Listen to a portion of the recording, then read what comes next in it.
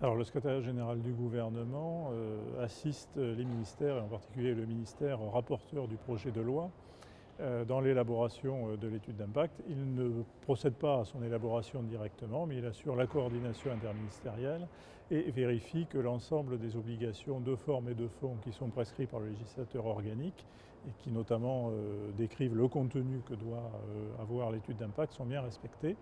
Euh, il assure ce pilotage pendant toutes les phases d'élaboration euh, du projet de loi, que ce soit au cours euh, de l'examen par le Conseil d'État, mais également avant le dépôt devant l'une ou l'autre des assemblées saisies.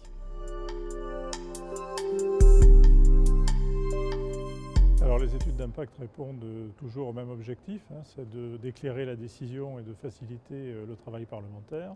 Elles déterminent, elles précisent notamment les objectifs que le gouvernement entend poursuivre à travers le projet.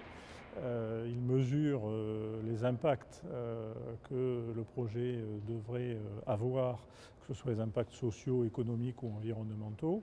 Et donc c'est une pratique constante qui accompagne les projets de loi.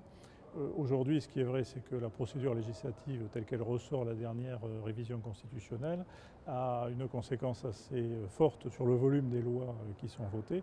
Et donc forcément, l'évaluation préalable ne porte désormais que sur une partie du projet de loi, puisque l'évaluation préalable s'attache au projet de loi tel qu'il est déposé. Et comme les amendements, notamment qu'ils soient gouvernementaux ou parlementaires, ne sont pas soumis à une telle exigence, on voit bien qu'aujourd'hui l'évaluation préalable a une portée, un contenu qui est relativement réduit par rapport au projet de loi définitivement voté.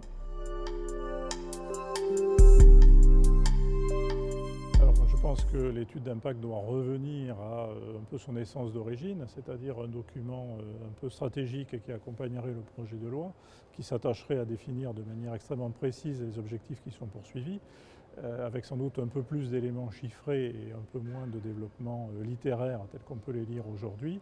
Et surtout, l'étude d'impact devrait s'attacher à permettre pour l'avenir une évaluation a posteriori de la loi et de ses effets, ce qui permettrait de mesurer l'atteinte des objectifs. Donc un document plus resserré, un document euh, quelque part plus chiffré et un document qui permettrait d'asseoir une procédure à venir et à définir d'évaluation ex post sans doute plus systématique qui permettrait d'avoir un regard critique aussi sur l'action euh, du législateur et sur les effets de la loi.